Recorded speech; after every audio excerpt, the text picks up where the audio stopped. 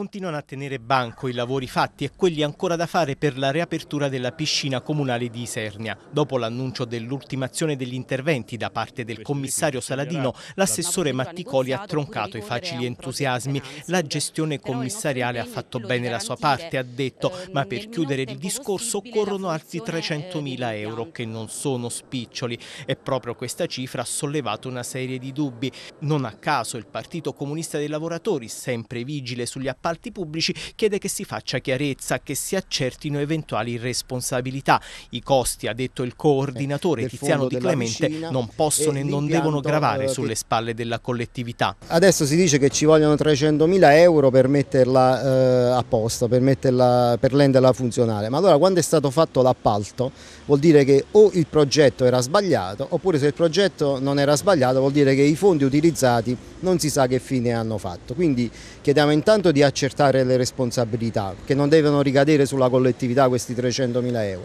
e poi chiediamo comunque che, venga eh, che vengano messe in atto immediatamente tutte quelle co piccole cose che mancavano, cioè la pavimentazione del fondo della piscina e l'impianto eh, che serviva alla climatizzazione eh, della, mm, della, della struttura. Poi se, se, si parla di rifacimento del tetto vuol dire che il tetto è stato fatto male e quindi chi l'ha fatto male lo deve riparare, non, non lo deve riparare la collettività.